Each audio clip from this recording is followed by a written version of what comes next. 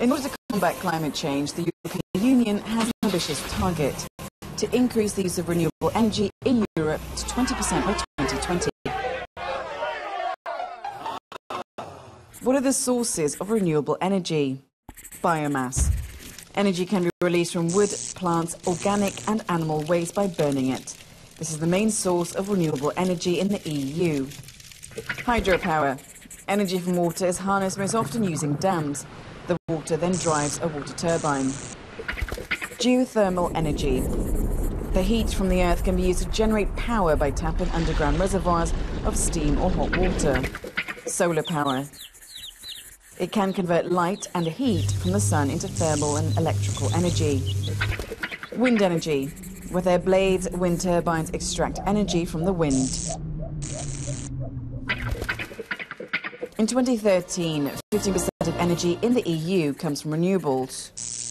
Member states have different attitudes towards harnessing renewable energy sources. The country using the most renewable energy in its energy mix is Sweden, due to its hydropower plants and wind turbines.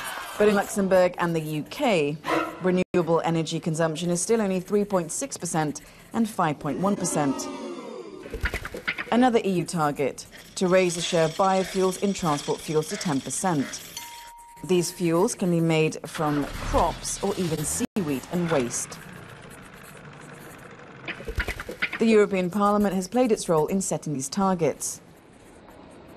On several occasions, MEPs have tried to make the 20% renewable energy target binding on member states, but so far they haven't been successful. And what about after 2020? Well, by 2030, the share of renewables should increase from 20% to 30%, and by 2050 to more than 50%. It seems to be